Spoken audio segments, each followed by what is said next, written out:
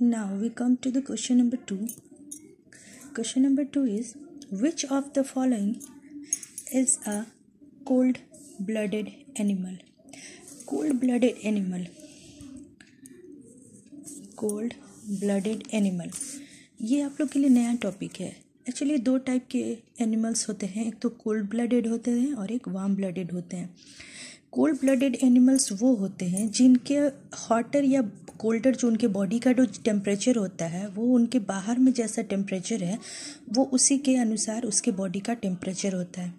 जैसे जब सूरज जैसे शाम में ढल जाता है तो फिर बाहर का टेम्परेचर क्या हो जाता है? थोड़ा सा कूलर, हल्का गर्म रहता है। तो उसका बॉडी क्या हो जाता है, तब उस टाइम में कूलर हो जाता है। और जब फिर जैसे सुबह में फिर सूरज उगता है, गर्मी होती है तो फिर उसके बॉडी का टेम्परेचर फिर एकदम वार्म हो जाता है। मतलब कोल्ड ब्लडेड एनिमल्स वो होते हैं जिनके बॉडी का टेम्परेचर बाहर के टेम्परेचर पे डिपेंड करता है। और वार्म ब्लडेड एनिमल्स जो होते हैं, वो ऐसे एनिमल्स जिनके ओन बॉडी का जो हीट होता है, चाहे वो बाहर में ठंडा हो, गर्मी हो, बरसात हो, जैसा भी मौसम हो, उनके बॉडी का टेम्परेचर हमेशा ही गर्म ही होता है, चाहे वो कैसा भी क्लाइमेटिक कंडीशन हो, ठीक है?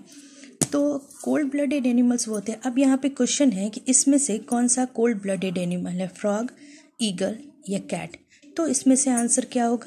Frog okay now question number third which of this is not really a bear देखिए, हम लोग तो बियर सुनते हैं, लेकिन जानते चलिए।